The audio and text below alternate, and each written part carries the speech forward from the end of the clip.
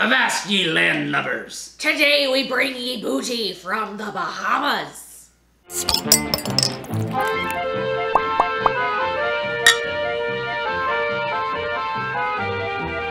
So that was hokey. Love it. That's what we do here at Til Beer Do Us Part. By the way, welcome back to Til Beer Do Us Part. We review all things craft beer on this channel. So if you're new, consider subscribing, especially because we have a giveaway going on. Details in the description box below, but it's really important that you subscribe.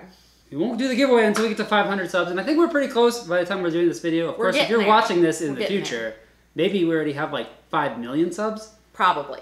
Also ring the bell so that way you know when we have new videos. Ring a ding ding! Taking your line. Well, if you didn't get the gist, we're doing Pirate Republics. Well, two different beers, actually. Two different beers from Pirate Republic out of Nassau in the Bahamas.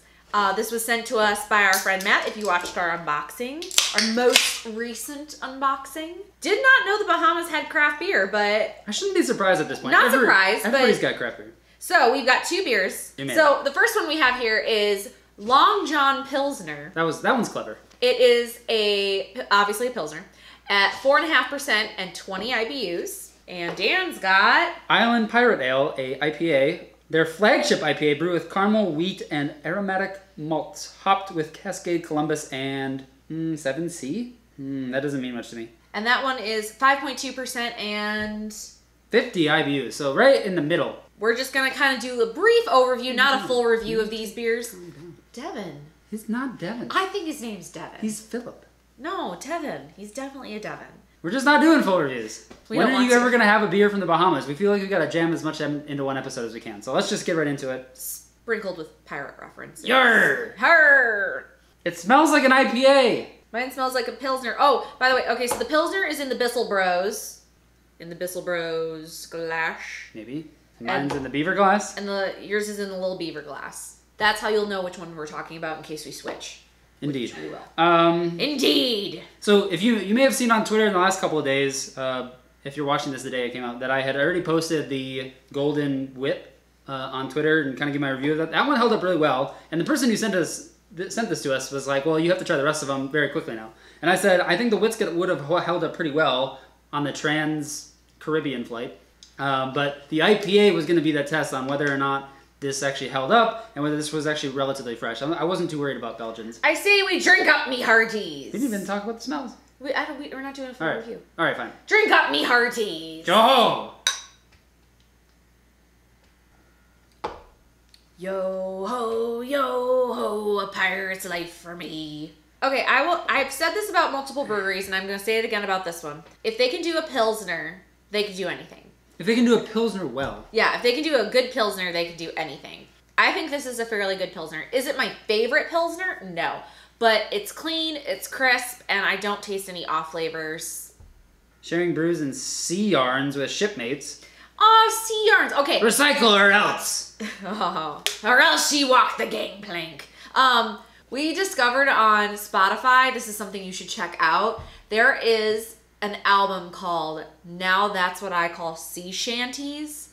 It will change your life. Exquisite, put that on your to-do exquisite list. piece of history. So tell us about this IPA because I started talking about the Pilsner and uh, you haven't shared Well, anything, and I would like to try the I wouldn't, IPA. I would, I'm a little surprised. This is very close to what I would consider a traditional West Coast IPA. And considering that the Bahamas is pretty far east in comparison to the rest of the continental US, I'm a little surprised. Um, it's just very run of the mill. It's got good hop character. It's pretty bitter finish. And that's all I've got to say about that. Sounded very Forrest Gump. That's not on theme. How would you do a, a piratey version of Forrest Gump? Life is like a chest of booty. You never know how many doubloons you're gonna get. Oh yeah, okay. I see what you say about the the IPA. Very run of the mill, very typical West Coast.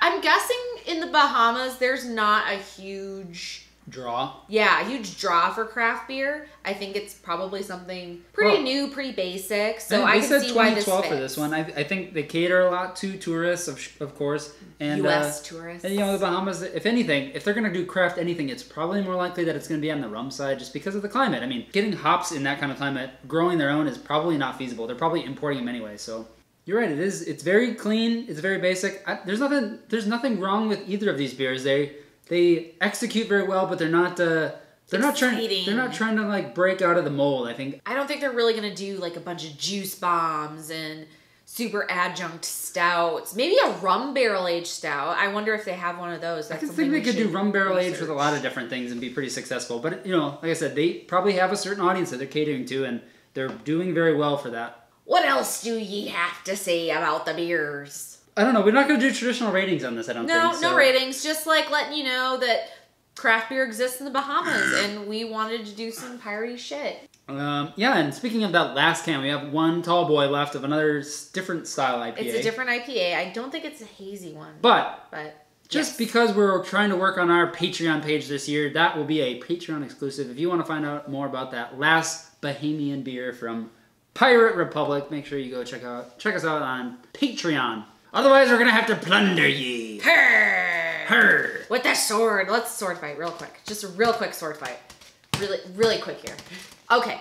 No, what's the question of the day? What is the name of our parrot? I think it's Devin. I thought it was a Philip, but if you think there's a better name out there for a parrot, for a pirate, And I think it's a girl, Devin. All right, guys, that was our review ish of Pirate Republic from Nassau in the Bahamas. For lager, for porter, and barrels or on draft, we're your favorite landlubbers for all things beer. And if you ask us to do anything, we'll just tell you we don't do anything. And I've never owned a parrot. We do. And I've never been to Boston in the fall. And I've never seen a sick bug. And I've never painted daisies on a big red rubber ball. And I've never bathed in yogurt. And I don't look good in leggings. Except I do. Never been to Boston in the fall.